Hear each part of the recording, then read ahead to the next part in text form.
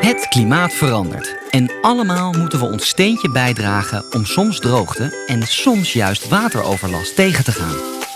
En daar zijn ze in deze wijk in Lopik al lekker mee bezig.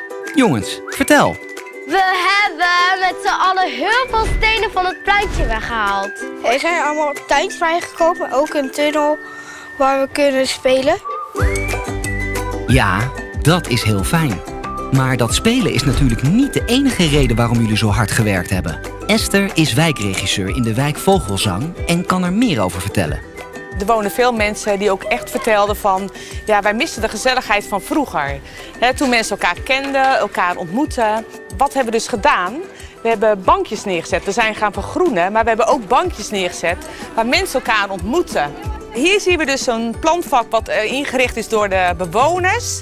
Dat hebben ze zelf ingeplant. Het geeft gewoon ja, kleur en geur aan de wijk. Trekt ook bijen en insecten aan. Maar het leukste is als inwoners uit Lopik komen, uit hele andere wijken. Die zeggen, wat is het hier opgeknapt? Wat is dit leuk geworden? Dit willen we eigenlijk ook wel. Dat regenwater verdwijnt dus in die tuintjes. Maar kunnen jullie dat op een hete zomerdag dan niet gebruiken? Inderdaad, een gedeelte van het regenwater vangen wij op. En dat gebruiken we om De planten water te geven. Nieuwe tuintjes en banken. Maar is dat alles? Nou, dat is nog maar het begin. De bewoners willen meer. Er komt hier nog een bloemen- en een kruidentuin. We gaan ook een bijenhotel maken met de kinderen.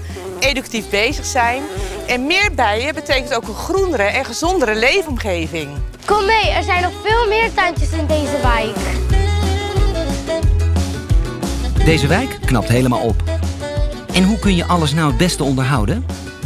Door water te geven, onkruid weg te halen en geen rommel achter te laten. En dan is de boodschap... Klimaatklaar, dat doen we samen!